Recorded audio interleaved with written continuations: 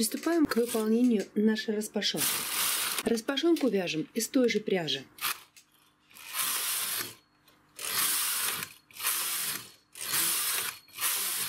Что и плед. Вязание, как и в пледе. Начинаем с бросовой нити, после чего навешиваем грузы. Я использую однофантурное фанговое переплетение из каталога Бразер. Рисунок 282. Провязываем первый считывающий ряд рисунка. Переключаемся на вязание фанга и вяжем прямо первые 19 рядов. Плотность по-прежнему 8.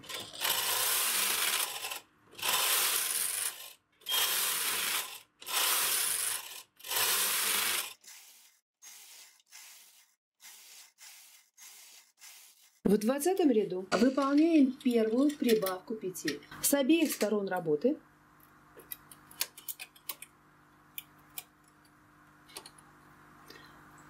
прибавляем по одной петле слева и справа.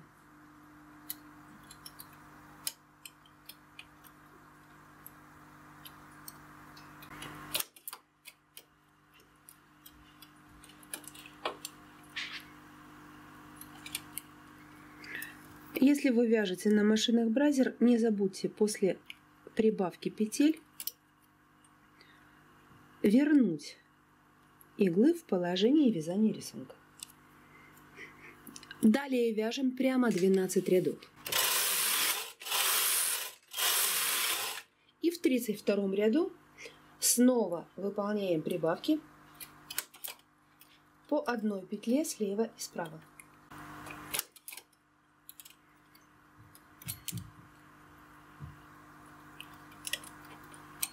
Работу продолжаем, вяжем следующие 10 рядов прямо.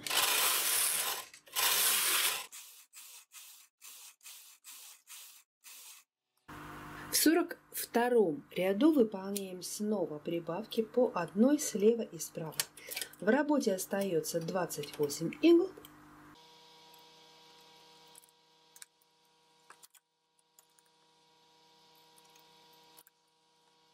Возвращаем иглы по рапорту рисунка. Вяжем следующие 8 рядов прямо. В 50 ряду с обеих сторон выполняем прибавки по одной петле слева и справа.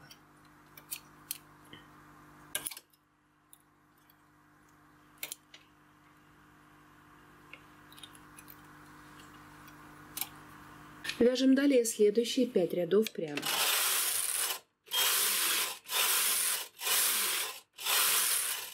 55 ряду слева и справа выполняем прибавки по одной петле. Вяжем следующие 4 ряда прямо.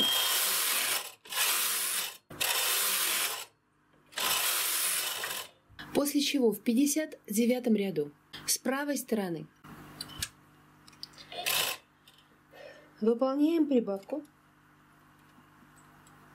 4 петель справа. Опускаем щетки вивинга, провязываем один ряд. Справа налево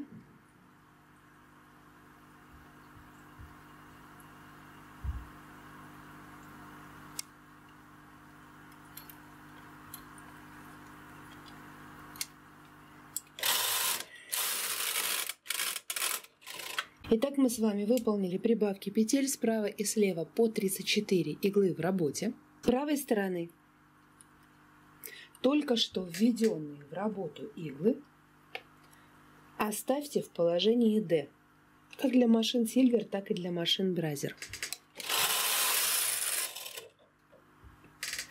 Провязываем один ряд,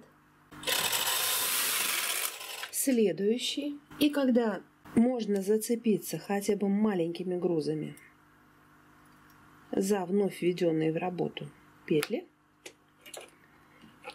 Навешиваем. И теперь и на этих иглах тоже мы можем продолжить вязание фангового переплетения. Следующие 29 рядов вяжем просто прямо. В 92 ряду приступаем к выполнению горловины. Каретку переводим в положение частичного вязания. Для тех из вас, кто вяжет на машинах бразер, запомните ряд рисунка. Переведите в переднее нерабочее положение иглы, оставив в работе минус вторую иглу. Провязываем один ряд слева направо, выполняем обвив и каретку возвращаем. Для вывязывания горловины переводим в переднее нерабочее положение еще три иглы. Провязываем один ряд. Слева направо. С левой стороны для скоса плеча переводим в переднее нерабочее положение, иглы оставив в работе 30 иглу. Со стороны каретки выполняем обвив, провязываем один ряд справа налево. Для скоса плеча со стороны каретки одну иглу переводим в переднее нерабочее положение. Для горловины оставляем в рабочем положении седьмую иглу. Остальные в ПНП. Провязываем ряд слева направо. Одну иглу со стороны каретки переводим в переднее нерабочее положение.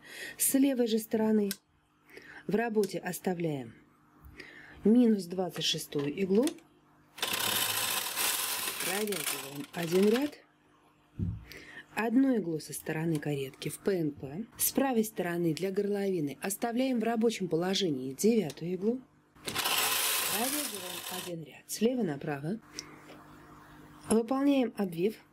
Со стороны каретки с левой же стороны в работе оставляем 20 игл. Остальные в переднем нерабочем положении. Провязываем один ряд справа налево, выполняем обвив правой стороны. В работе оставляем одиннадцатую иглу. Провязываем ряд слева направо, выполняем обвив. На счетчике 101 ряд с левой стороны.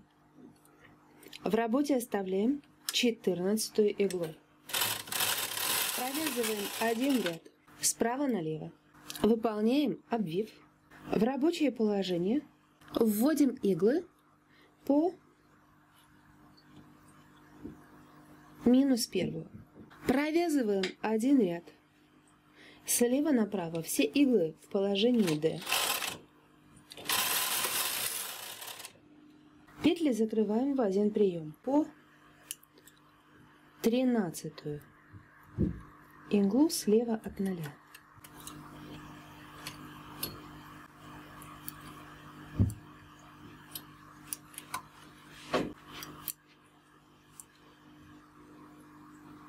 Последнюю закрытую петлю навешиваем на тринадцатую иглу. На счетчиках 103 ряд. Плотность по-прежнему 8.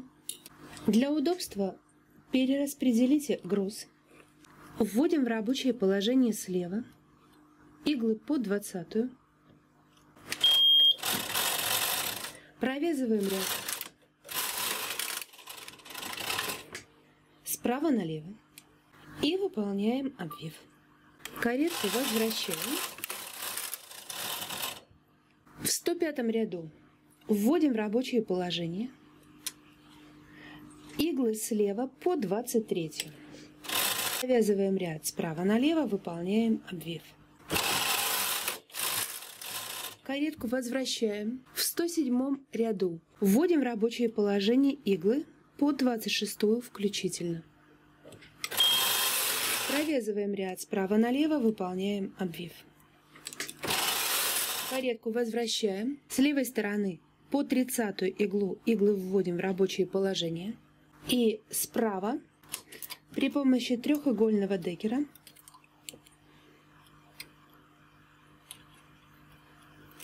выполняем прибавку одной петли.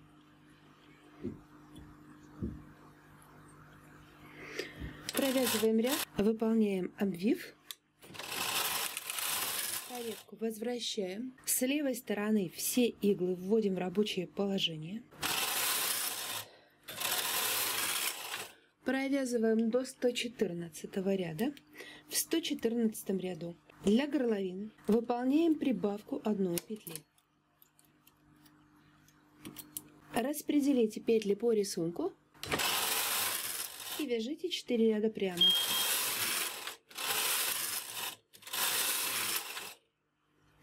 В 118 ряду с правой стороны выполняем прибавку одной петли.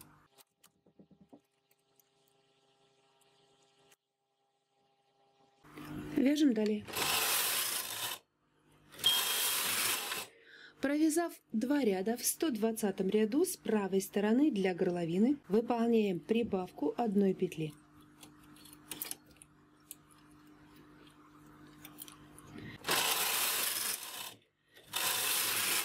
В 122 ряду с правой стороны выполняем прибавку одной петли.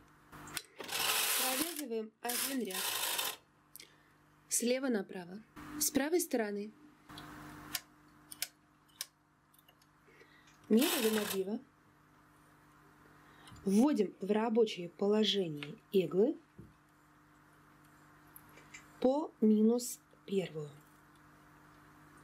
Эти иглы сразу же переводим в положение D. Провязываем один ряд справа налево. Только что введенные в рабочее положение иглы снова переводим в положение D. Провязываем следующий ряд. Убеждаемся в том, что все эти петли провязаны. Провязываем еще один ряд справа налево. Перевешиваем груз, которому уже есть за что зацепиться. И вяжем прямо 19 рядов.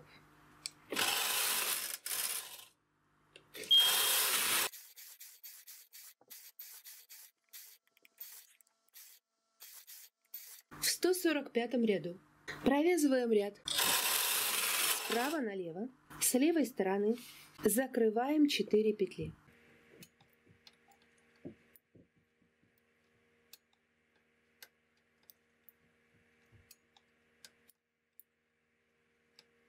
Закрываем аккуратно, не стягивая. Последнюю закрытую петлю убираем на 30 иглу. Эти иглы убираем из работы. Краевые иглы остаются в положении D, но мы с вами продолжаем вязать далее. Деталь маленькая, вязать достаточно неудобно, поэтому аккуратно распределяем грузы. Вяжем 3 ряда прямо.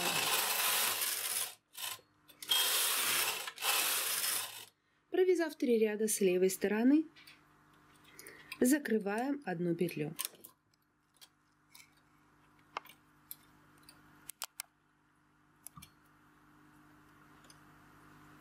Вяжем далее 6 рядов прямо. Провязав 6 рядов прямо с левой стороны, закройте одну петлю.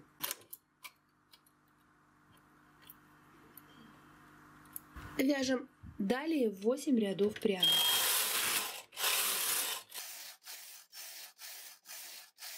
Провязав 8 рядов прямо, с левой стороны закрываем одну петлю. Продолжаем работу и вяжем 10 рядов прямо. В 173 ряду с левой стороны закрываем одну петлю. После чего вяжем 12 рядов прямо.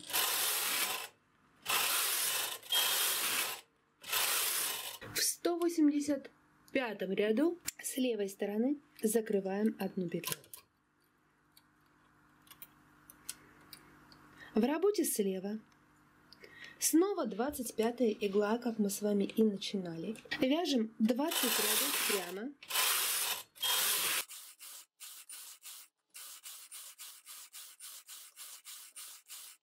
В 205 ряду отключите туковое переплетение, петли с накидом? Провяжите,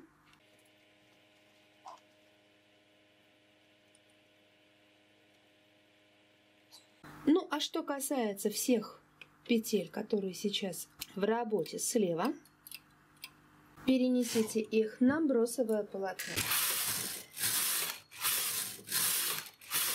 Далее вам стоит вернуться к 92 ряду Снова перейти на ряд рисунка, на котором выполнили разделение и абсолютно аналогичным образом провязать правую половинку.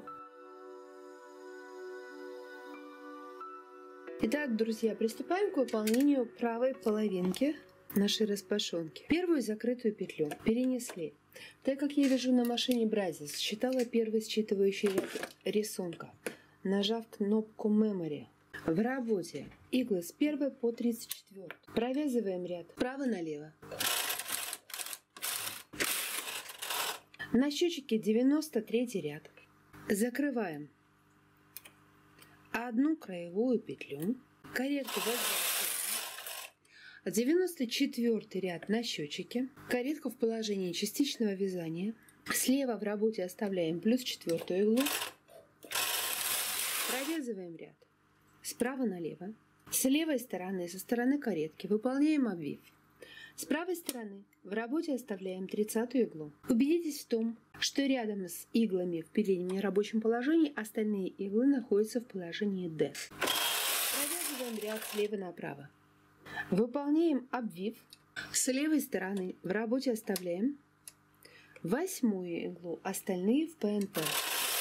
Провязываем ряд справа налево. Слева выполняем обвив, с правой стороны в работе оставляем 26 иглу справа от ноля. Провязываем ряд слева направо. Выполняем обвив. С левой стороны в работе оставляем девятую иглу. Провязываем один ряд справа налево, выполняем обвив. С правой стороны в работе оставляем двадцатую иглу. Остальные ТНТ провязываем ряд, выполняем обвив. Слева девятую и десятую иглы в передние нерабочие положения. Провязываем ряд справа налево, выполняем обвив. С правой стороны в работе оставляем девятнадцатую иглу. Остальные ТНП провязываем ряд, следите за натяжением. С левой стороны тринадцатая игла в переднем нерабочем положении. Слева в рабочее положение D вводим все иглы. Провязываем ряд справа налево. Далее закрываем петли для горловины. Для удобства можете ввести их в рабочее положение B. Закрываем петли любым удобным для вас способом первые две петли и последнюю закрытую петлю надеваем на 13 Это я показываю для тех, кто не понимает, что значит провязать зеркально. Вводим в рабочее положение справа две иглы. Провязываем один ряд 104. Слева направо выполняем Каретку возвращаем. В 105 ряду вводим в рабочее положение еще 3 иглы. Провязываем ряд слева направо. Выполняем обвив. Каретку возвращаем. В 107 ряду вводим в рабочее положение иглы по 26. Провязываем ряд, выполняем обвив. Каретку возвращаем. В 109 ряду здесь мы, друзья, должны с вами выполнить прибавку одной петли. Выполняем прибавку в работе 12 игла. Не забываем о том, что нужно выставить петли в положении провязывания рисунка. С правой стороны вводим в рабочее положение иглы по 30 включительно. Провязываем один ряд, выполняем обвив Смещаем каретку с правой стороны все иглы в работе, либо отключаем рычаг частичного переплетения. На счетчике 111 ряд. Провязываем до 114 ряда и в 114 ряду выполняем прибавку одной петли слева для горловины. Расставляем петли по рисунку, не забывая о том, что краевые петли обязаны быть в положении D. Вяжем далее. 4 ряда прямо. В 118 ряду с левой стороны выполняем прибавку одной петли. В работе слева плюс 10 выполняем прибавку одной петли вяжем далее. 2 ряда прямо. Далее с левой стороны выполняем прибавку одной петли. В работе слева плюс 9 это мы с вами прибавляем петли для горловины. Возвращаем иглы в положение вязания рисунка и вяжем один ряд влево. С левой стороны, друзья, мы снова выполняем прибавку одной петли. В работе слева плюс восьмая.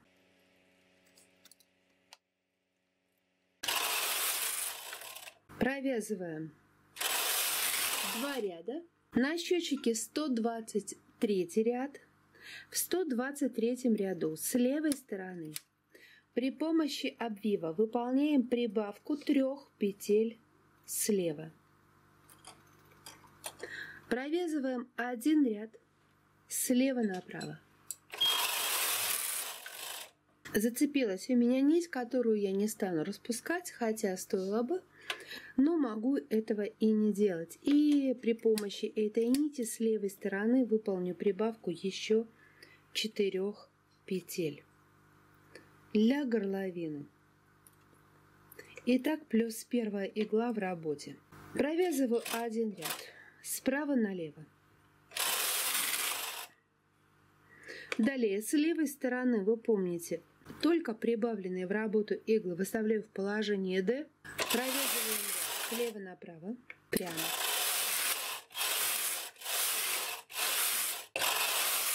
В 146 ряду с правой стороны Закрываем 4 петли.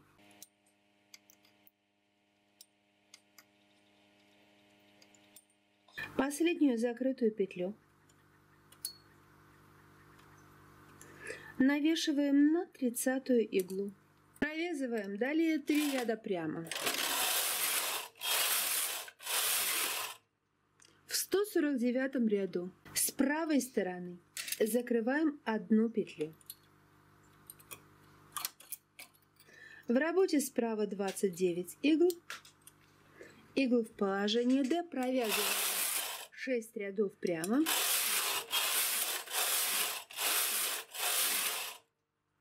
С правой стороны закрываем одну петлю 155 ряд на счетчике и с правой стороны 28 игл в работе.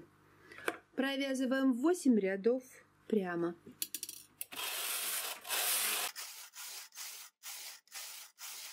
В 163 ряду с правой стороны закрываем одну петлю. В работе справа 27. Вяжем 10 рядов прямо. В 173 ряду с правой стороны закрываем одну петлю в работе справа 26.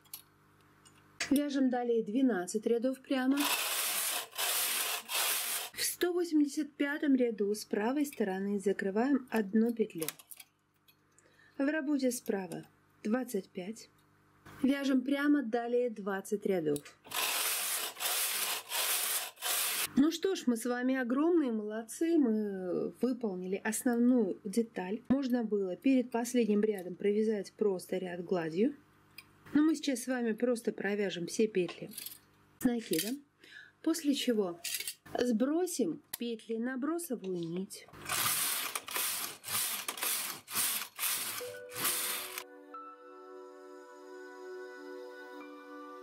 Распределим для начала рукав.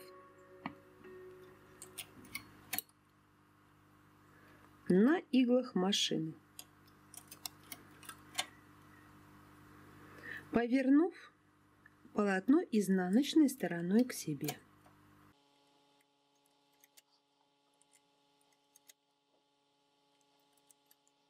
Набираем по 18 игл для деталей рукава.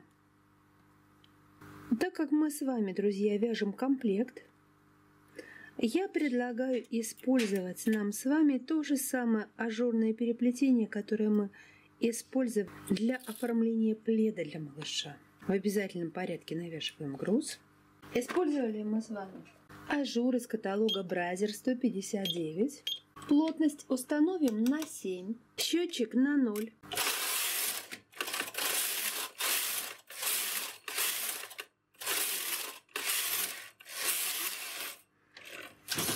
И провяжем оформление края при помощи ажура.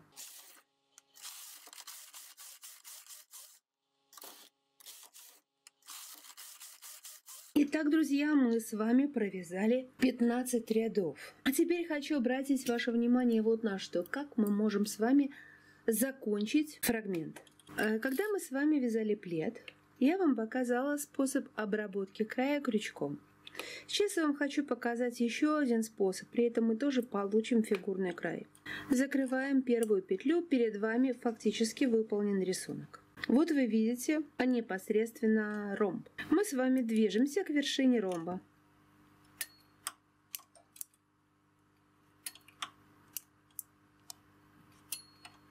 Доходим до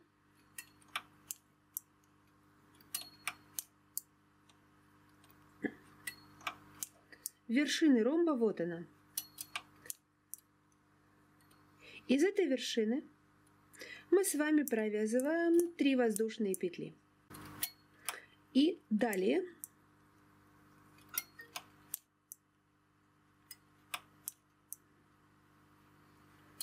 движемся к центру следующего ромба, в котором 3 центральные петли закрываем один прием. И мы с вами тоже получим фигурный край. Снова движемся к вершине ромба. Вот она. Провязываем 3 воздушные петли.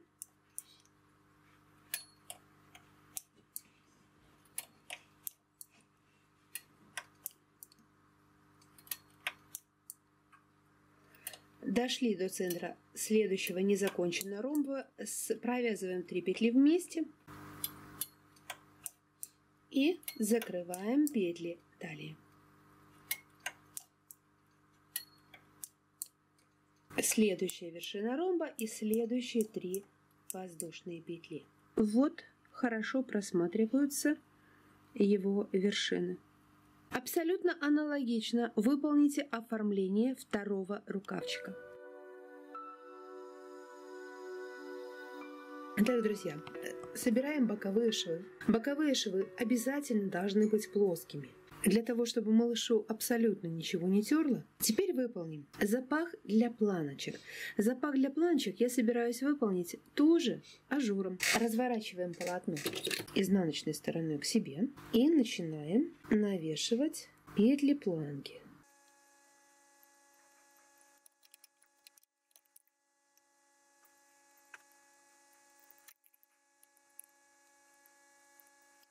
Плотно 7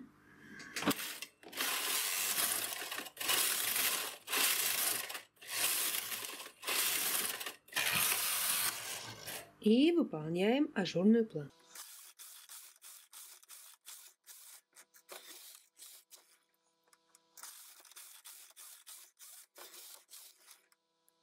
Приступаем к оформлению края. В этот раз края предлагаю нам с вами выполнить следующим образом при помощи еще и вспомогательного накида, что сделает наш край более плотным и фигурным.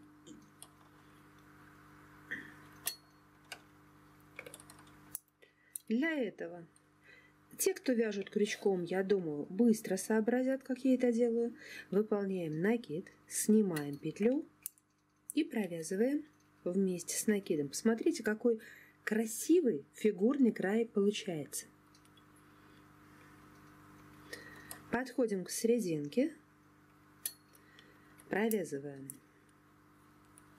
центральные, по-прежнему можем провязать 3 петли, завершим все это пико. Вот как мы с вами нафантазировали.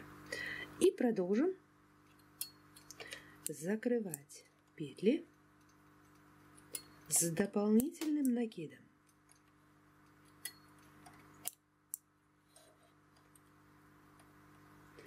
Мы действительно получаем очень красивый край.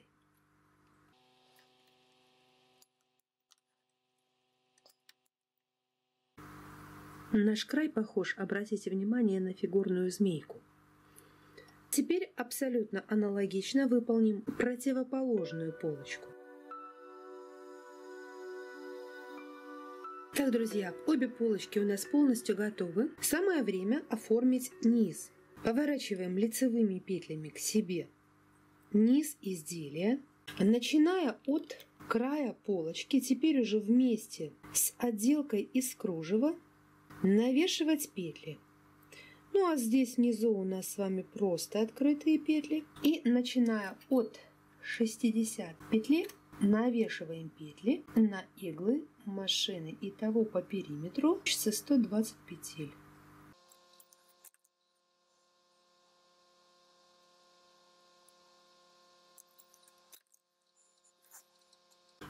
После того, как вы все петли навесили, Удаляем бросовое полотно. Можно удалить его сразу. Можно, кстати, удалить потом, кому не хочется его удалять сразу.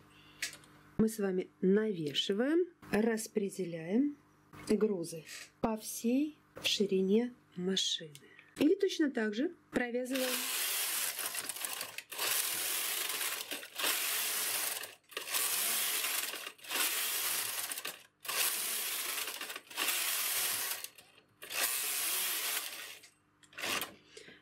нижнюю часть отделки нашего изделия. Прием аналогичный тому, как мы закрывали петли полочки. Ну что ж, друзья, дело остается за малым. Полностью готово. Фактически наше изделие осталось только лишь оформить горловинку. Горловинку мы оформим также весьма нехитрым, но очень эффектным способом. Набираем полупетли Набираем за полупетля край горловины.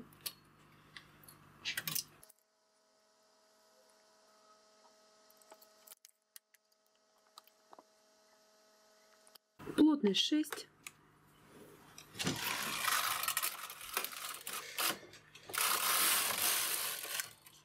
Провязываем.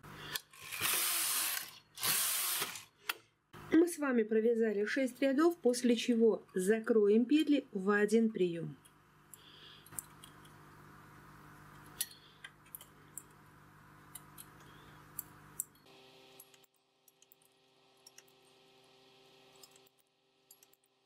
Нам с вами остается отпарить